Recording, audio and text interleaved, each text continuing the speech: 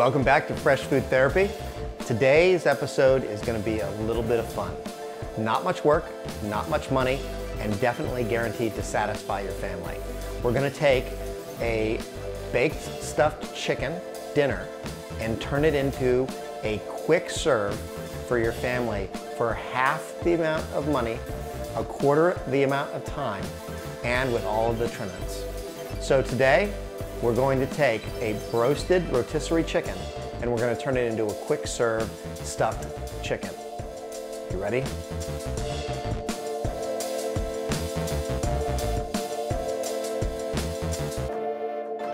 So summertime means corn. And we found some beautiful sweet white corn for about 16 cents an ear. So what we're gonna do is we're going to prepare it very, very simply. We're gonna shuck them and then we're going to just boil them. What we're also gonna do is we're gonna break them in half so that they're easier to fit on the plate and also to work with. Although it looks more generous to have an entire ear of corn, sometimes for young children or even for adults, it's a little hard to handle. So you grab the corn and all you're gonna do is literally remove the outside shell and then remove as much of the silk as you can. And then repeat for all of the ears that you have.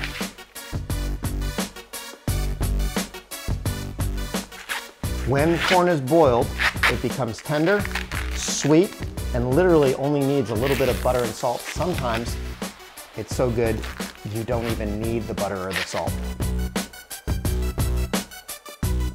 Now what we're gonna do is we're gonna put them in the pot, we're gonna rinse them with water to once again get all the silk off, and then we're gonna start them boiling.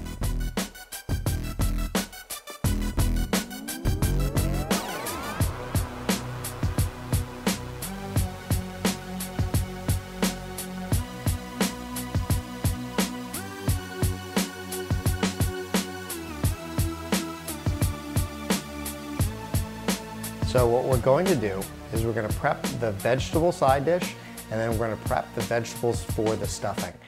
Today, the vegetable side dish is going to be yellow squash served with a little bit of roasted fresh rosemary.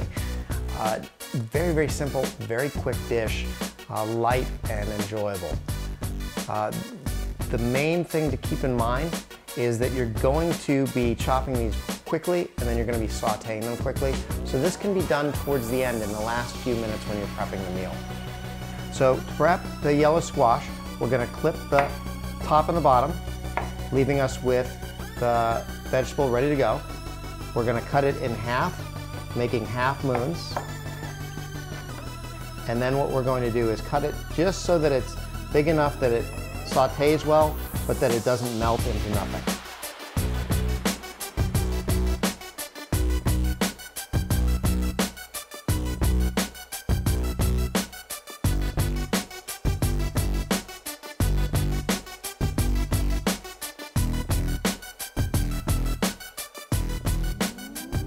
Another good aspect of this is because it is so quick to prepare, you can use this for many, many different meals.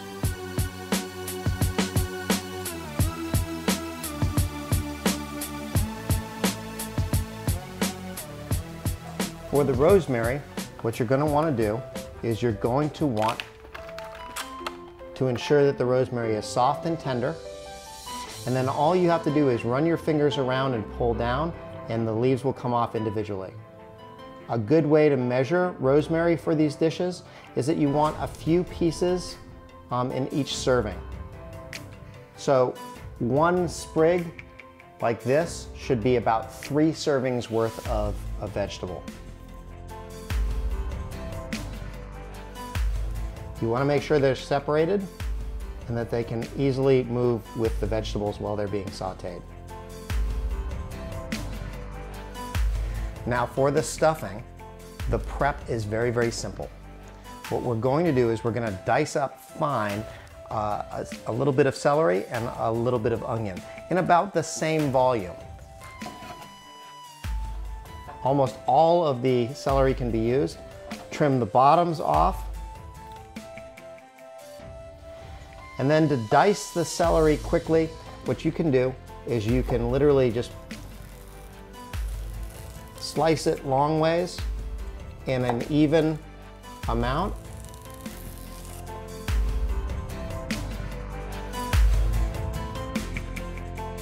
This is also a good cut of celery if you are making tuna fish salad.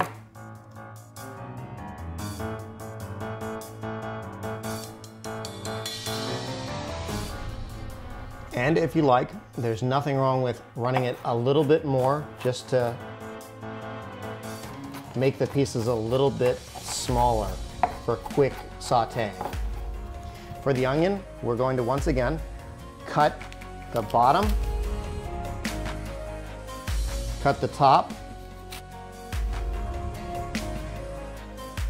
and then peel off the layers you're not going to be using for the recipe.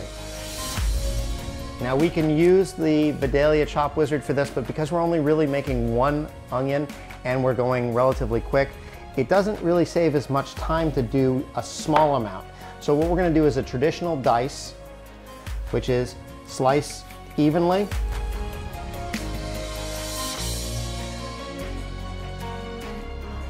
And then we're going to cut up and down. Be very careful because when you're cutting onion, sometimes it'll slide depending on how old the onion is. And then what we're gonna do is just dice. If it gets to the point where it's sliding like that and it's a little dangerous, have no fear, just stop what you're doing, put it on the cutting board and begin to mince it in a more controlled manner. And you'll see that a half an onion is about exactly the same amount of volume as two stalks of celery. What we're going to do now is we're going to saute this together until it's tender. It'll only take about maybe four or five minutes tops. So we're now gonna take the vegetables and quick saute them. It's the celery and the onions put into the pan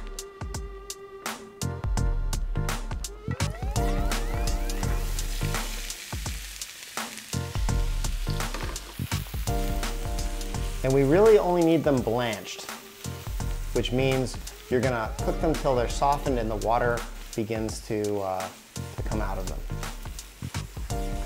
Make sure they're coated with oil evenly. Now because this is expedited, that means we have to cook the vegetables to the point where they are very, very tender and ready to go. In a normal baked stuffed chicken, it's gonna spend two to three hours in the kitchen, in the, in the, it's gonna spend two to three hours in the oven. And that should allow anything that needs to cook up a little bit more, a little bit more time. But in this case, since it's literally going to be just heated up in the oven for about five to 10 minutes, we've got to make sure that these vegetables are almost to the point of being caramelized.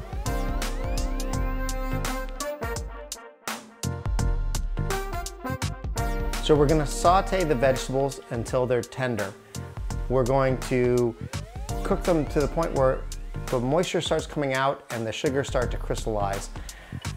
This makes the stuffing wonderful.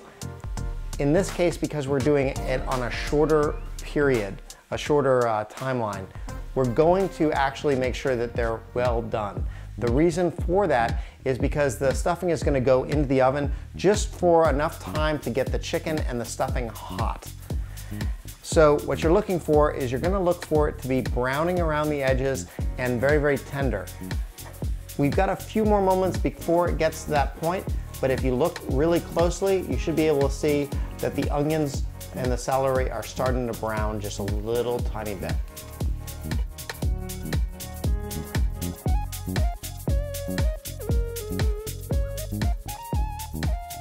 Celery and the onions are now ready. We're gonna put them into a bowl to get them ready for prepping the stuffing. And then what we're gonna do is we're gonna quick saute the yellow squash.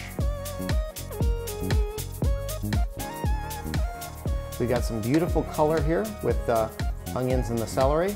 and that should make the stuffing a little bit more savory, a little bit more rich. So you don't have to clean the pan because the flavors aren't going to be that much dissimilar. But what we're gonna do is we're gonna grab a little bit of the extra virgin olive oil because in this case, the oil will change the flavor of the vegetable. We're going to put the olive oil into the pan and we're gonna take the yellow squash and put it in very, very carefully into the oil. We're gonna keep the rosemary out of the, the cooking at the moment. We're gonna add that in just a little bit. But we're gonna get the yellow squash sauteing and coated with the oil.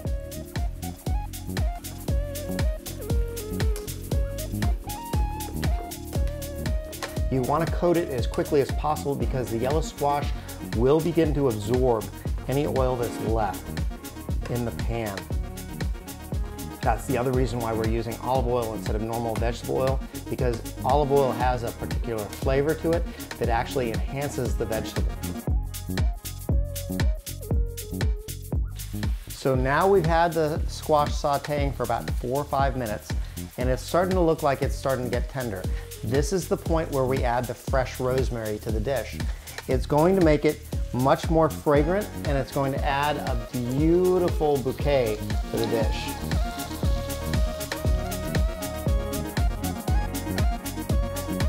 At this point, it's also a good idea to add just a pinch of salt to give a little bit more flavor into the dish. You'll get a light sweetness to the, to the uh, yellow squash, but a pinch of salt will bring out a much more distinct flavor to the vegetable. And then if you'd like, um, you can also add a little bit of onion powder. It'll give a little bit more depth to the flavor of the vegetables.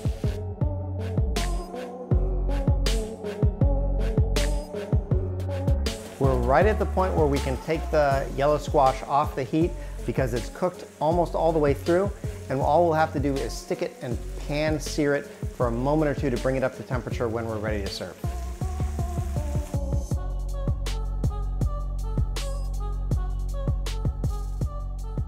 And now we're going to start making the stuffing.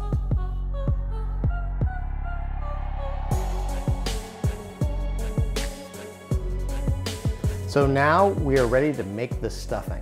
And what we're gonna do is we're gonna take some Pepperidge Farm cubed country style stuffing. Very inexpensive, easy to reach for on the, on the aisle in the supermarket. Open the entire package up. Now it says on the back that this is nine servings. I will be completely honest with you. This is not nine servings. This is about five or six servings.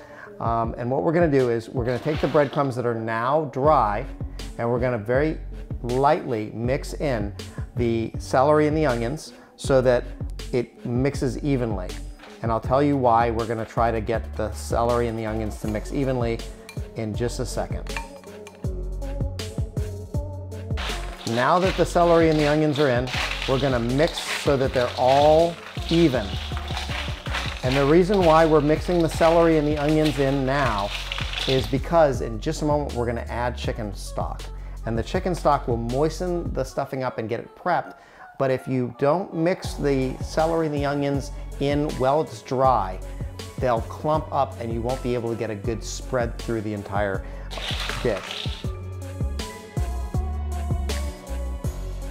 Now that it's mixed, what we're gonna do is just open up a can of chicken stock or chicken broth.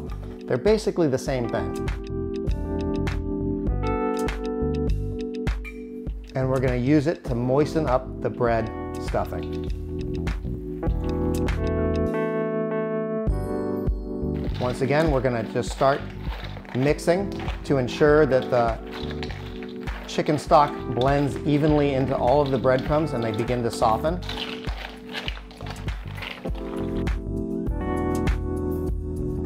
Now that the chicken broth is in it, you can actually see more easily how even the onions and the celery are mixing into the, the breadcrumb mixture. Now, if you find that they're still cubed kind of tightly and they're not soft, there's nothing that says you can't add a little bit more water to it to just get it to the point where it's moist. In this case, I'm feeling pretty good that the one can is enough. Get it ready for baking. Now what we're gonna do is we're gonna transfer the stuffing into the baking dish.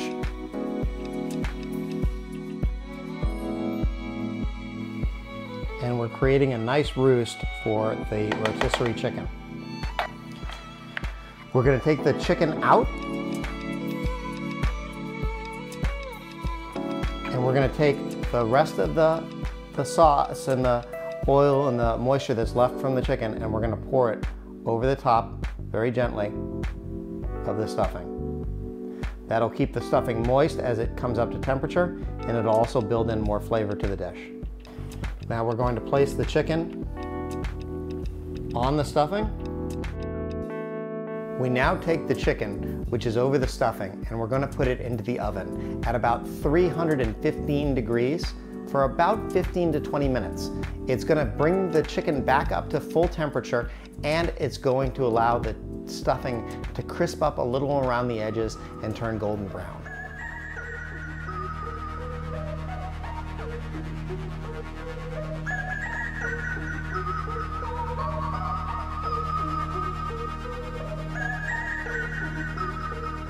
We now have the feast laid out in front of you and you've got a beautiful chicken, rotisserie, tender, moist, and covered with a little bit of fresh homemade stuffing.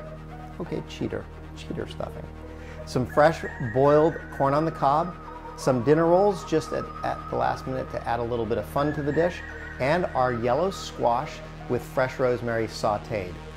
The dish should look like this when it's plated, and what you have in front of you should be enough to feed a family of six. The total cost was $27.72, so the cost proportion is about $4.60. But just between you and I, there's actually enough food here probably for leftovers as well, which means you're looking at maybe $4 or less per portion. I hope you enjoy your meal. It was a pleasure cooking for you, and we'll see you again on Fresh Food Therapy.